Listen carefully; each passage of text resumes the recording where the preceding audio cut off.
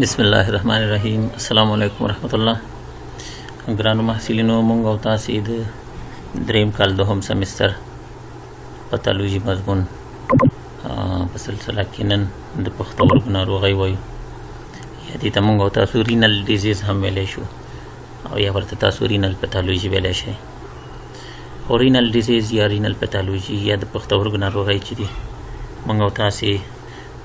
په څلور ګروپونو باندې ویشو چې لومړنی ګروپ یا لومړنی ډول د دې ناروغۍ چې دی هغه د ګلومیرولونو ناروغي دي دوهم ډول یې چې د تیوبولونو ناروغي دي او دریم ډول یې بین الخلالي ناروغي دي او څلورم ډول یې چې هغه ویعي ناروغي دي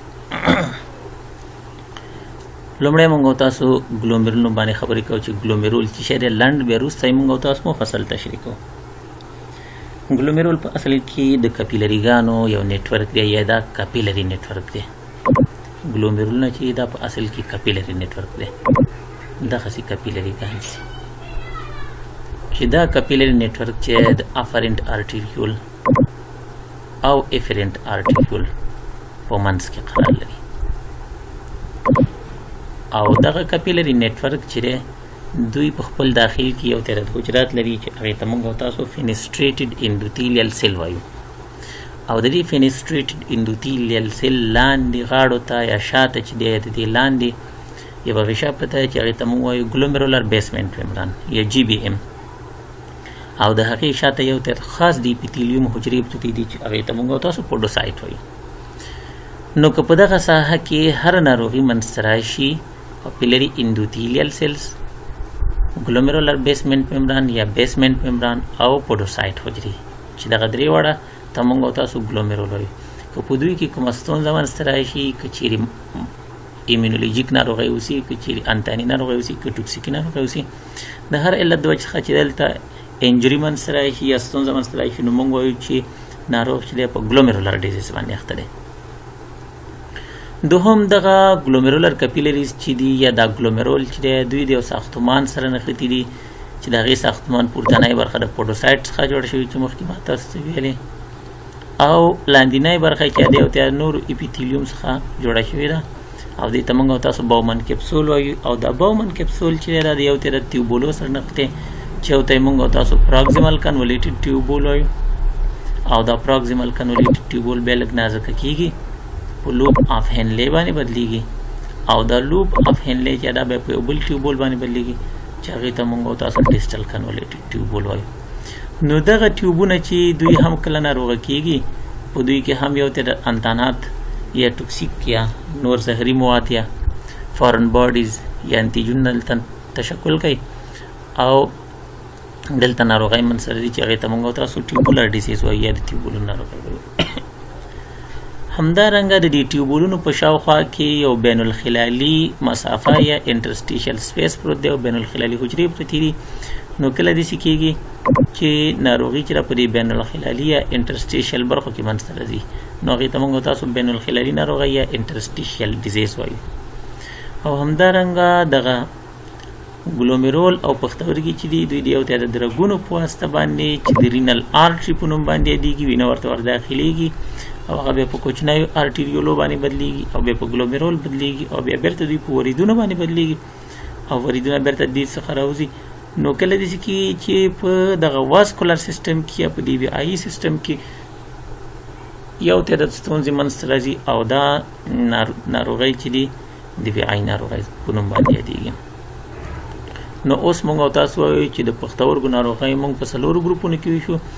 کې د لهي چې ګلوميرولنمس ابوسي یا مبتلا اوسي په مرز باندې او د پښتورګو ناروغي منځته راوړي کې د لهي چې ټیوبولونه مبتلا اوسي چې پروکسیمل کنولیټ ټیوبول لوف اف هنلي او ډیسل کنولیټ ټیوبول په نوم باندې یادېږي او دا د پښتورګو ناروغي منځته راوړي او کې د لهي چې ټیوبولو انټرسټیشل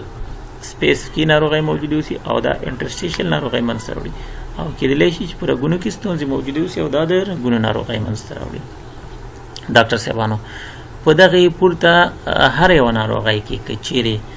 د ګلوميرول ناروغي وسی کدي ټیوبولون ناروغي وسی کدي ټیوبول انټرسټیشل ناروغي وسی او کچيري د رګون ناروغي وسی په دې هر ناروغي کې په پښتورګو کې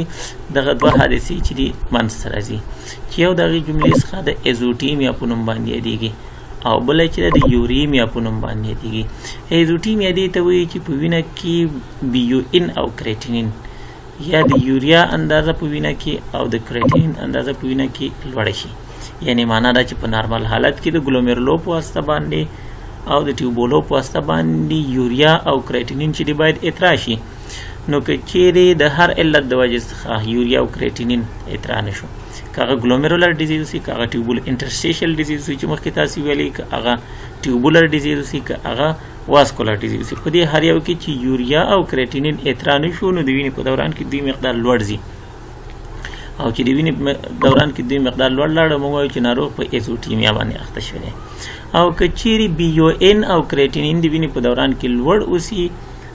او هغه د یو تعداد اعراض او علائم سبب هم ګرځيږي نو موږ وایو چې ناروغ په یوریمیا باندې اخته شوی دی چې یوریمیا یو د خطرناکو حادثو څخه شمیرل کیږي اوس پورتنۍ سلور وړه ناروغۍ چې موږ تاسو ویلې چې ګلومرولر ډیزیز دی ټیوبولر ډیزیز دی ټیوبولر انټرسټیشل ډیزیز دی او همدارنګه واسکولر ډیزیز دی دوی بلاخره په پښتورګو باندې کوم تاثیر کوي د پښتورګو د بې کفایتۍ سبب ګرځي چې هغه ته موږ تاسو رینل فیلر وایو د پښتورګو بې کفایتي یا رینل فیلر دا معنی چې پښتورګي خپل وظایف یا فنکشن چې په نارمل وخت کې به سر تر رسول هغه سر ته نشي رسول اوس د پښتورګو بې کفایتي یا رینل فیلر موږ تاسو په دوه ډول باندې پیژنو چې یو ته موږ وایو د پښتورګو ها د بې کفایتي یا کیوټ رینل فیلر او بل ته موږ وایو د پښتورګو مزمنه بې کفایتي یا کرونیک رینل فیلر اکیوټ رینال فیلر چې د ای آر اف په نوم باندې موږ هم تاسو یادولای شو دا یو سندروم دی چې د پښتورګو وظیفوي تشوش پکې منځته راځي یعنی فنکشن چې دا پکې په نارمل شکل باندې پښتورګي سر ته نشي رسولای ځکه ورته موږ اکیوټ رینال فیلر وایو او دا په لومړي ځل باندې منځته راغلی دی او پښتورګي چې په دوی کې د کمو تشومیتیازو جوړېدل او یا د تشومیتیازو نه جوړېدل چې د اولیګو یوریا او ان یوریا په نوم باندې یادېږي دا پکې زر پیل کیږي یعنی معنا دا چې په لږ وخت کې پکې منځ راځي ځکه دا یو اکیوټ حادثه ده کله چې اولیګو یوریا شي تشې میتیازي کمی جوړی شي ان یوریا شي یا تشې میتیازي جوړی نشي نو ښکاره خبره ده چې بلډ کلیرنس په صورت ونیمي شي وینه به پاکه نشي یوریا او کرایټینین چې دا به اترا نشي نور فضله مواد یا ویست مټیریل چې دي یا میټابولایټ چې دی هغه به اترانی شي نو کله چې میټابولایټس اترانی شي یوریا اترانی شي کریټین اترانی شي نو د دوی مقدار به د وینې په دوران کې لوړ لاړ شي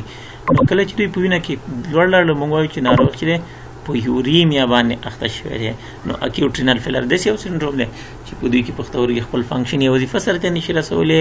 پښتورګي د اولیګو یوریا یا ان یوریا سره مخامخ کیږي او میټابولایټس چې دي او یوریا او کریټینین د وینې په دوران کې لوړیږي او ناروغ په ای آر اف کې په یوریمیا باندې اخته کیږي ای آر اف د کوم سببونو د وجې څخه منځته راځي او پاتوجینیز یې څه دی سببونه چې په درې ډول یو ته موږ وایو پری رینل کاز بل ته موږ تاسو وایو انټرا رینل کاز او بل ته موږ تاسو وایو پوسټ رینل کاز یعنی د پښتورګو بې کفایتۍ یا اکیوټ رینل فیلر باندې درې وړه شیان تاثیر لري پریرینل کاز چې دی هغه دی چې پښتورګي کې ستونزه موجوده نه ده خو پښتورګي ته چې کومه وینه راوړونکې ده کنه هغه کې بستونزه موجوده اوسي مثلا کارډیک آوټپوټ چې په کافي اندازه نه دی زړه په کافي اندازه باندې کارډیک آوټپوټ نشي کولای نو پښتورګي ته کافي وینه نه رسیږي نو چې وینه ونه رسیږي موږ وایو چې اکیوټ رینل فیلر منځته راځي جی فار کمیږي اولیګویوریا منځته راځي یا انیوریا منځته راځي یوریمیا پکې منځته راځي همدارنګه هایپوولیمیا که چیرې د وینې حجم کم شي هایپوولیمیا سره یو ناروغ مخامخ شي اوسي دا د دې سبب ګرځيږي چې والیوم کم شي حجم کم شي بیا کارډیک آوټپوټ کمیږي بیا پښتورګي ته کافي اندازه وینه نه رسیږي او بیا د دې سبب ګرځيږي چې اکیوټ رینال فیلر منځته راشي او همدارنګه په رګونو کې او تیر ناروغۍ د مثال په ډول باندې اسکیمیا پښتورګي دي چې د اسکیمیا د پښتورګو رګونه دي چې د اسکیمیا سره مخامخ کیږي او دا د سبب ګرځي چې پرین رینال شکل باندې اکیوټ رینال فیلر ته زمينه برابر شي نه پښتورګو ته کافي اندازه وینه نه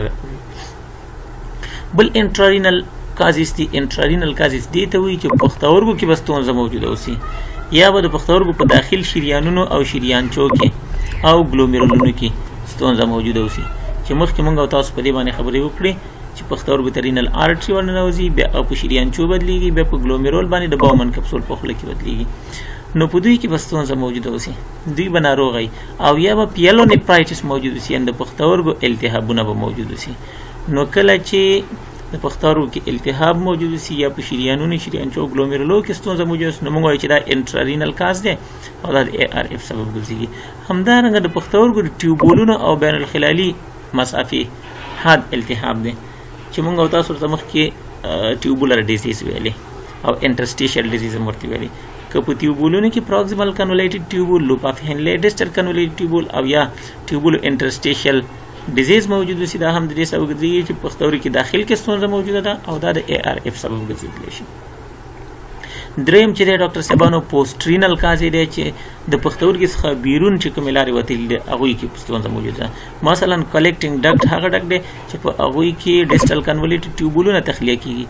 په دوی کې بندش موجود دی خصوصا په ډیجیټل ساحه کې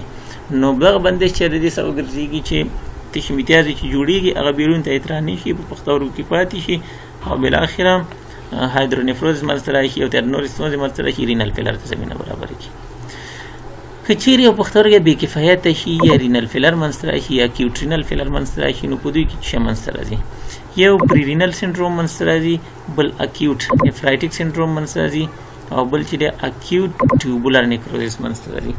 مخکې موږ تاسو په پریرینل سندروم کې ویلې که تاسو فکری ما تاسو ارزو ک چې په پریرینل سندروم کې د څه وه حادثه منځته راځي چې په دوی کې د پښتورګي څخه بیرون چې کومې ستونزې دي هغه دې سبب ګرځيږي چې پښتورګي په سندروم باندې بدل شي د مثال په ډول باندې مونږ مونږ تاسو ویلي چې د اسکیمیا سره مخامخ کیږي یا د هایپوولیمیا سره مخامخ کیږي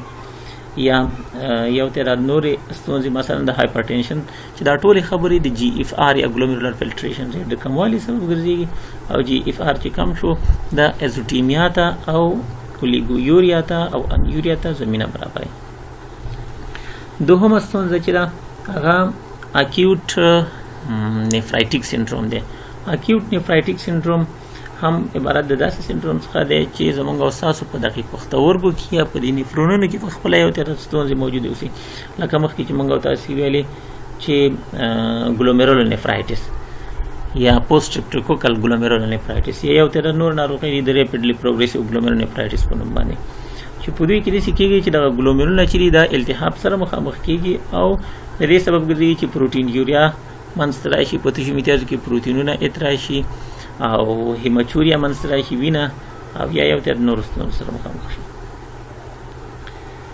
دریمه خبره چې مونږ او تاسو وایو اکیوټ ټیوبولر نیکروزس یا د نوم نه معلومیږي چې په دې کې د ټیوبولونه چې د نیکروزس سره مخامخ کیږي یو سندروم منځته راځي په اکیوټ ټیوبولر نیکروزس کې درې فاز منځته راځي چې یو ته موږ او تاسو اولیګو یوریک فاز وایي اولیګو د نوم نه معلومیږي یوریک چې د ادرارو اندازه پکې کمه وي په ابتدا کې پکې کم اندازه باندې ادرار منځته راځي او بیا وروسته چې دا په ډیوریټیک فاز باندې بدلیږي چې د ادرارو اطلاع چې دا دا پکې په زیاته اندازه باندې لیدل کیږي